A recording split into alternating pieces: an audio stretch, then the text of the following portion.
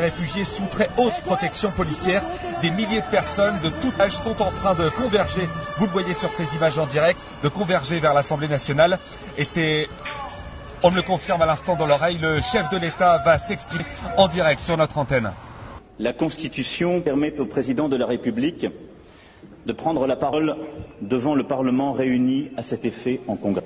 Il est des heures qui, de cette possibilité, font une nécessité.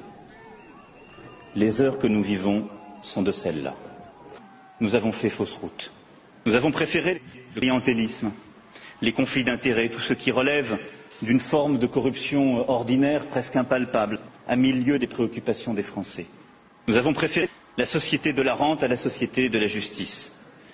Et je crois profondément que par ces choix récents, notre peuple nous demande de rendre le pouvoir à ceux qui œuvrent à l'intérêt général et pour la dignité des personnes.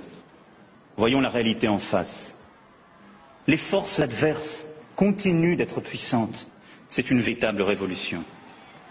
Elle prend parfois les traits de l'optimisme volontaire, d'autres fois ceux d'une paix sincère. Le peuple nous a donné le mandat de lui rendre sa pleine souveraineté. Nous devons partir. Il en est ainsi à chaque période. Lorsque le renouveau s'impose, j'y suis prêt. Je suis sûr que vous l'êtes aussi. Il ne nous est pas permis d'attendre. Les forces de la Révolution sont extrêmement puissantes. Pardon, Monsieur le Premier ministre, de vous annoncer aujourd'hui devant le Congrès cette mauvaise nouvelle. Ce qui nous est demandé par le peuple, c'est de renoncer, vous et moi, vous venez de l'entendre, le président a donc décidé d'abandonner le pouvoir et ce sous la pression populaire.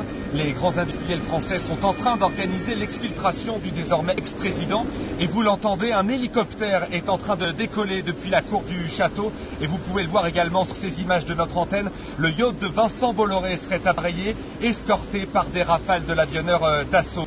Un gouvernement populaire de transition serait déjà prêt à assumer les plus hautes fonctions de l'État. Ce gouvernement populaire se revendique